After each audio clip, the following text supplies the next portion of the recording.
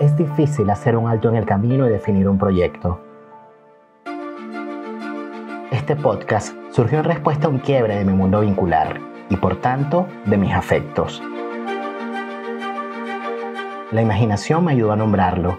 La palabra tenía que ser la protagonista. Dice Freud que tiene un poder ensalmador.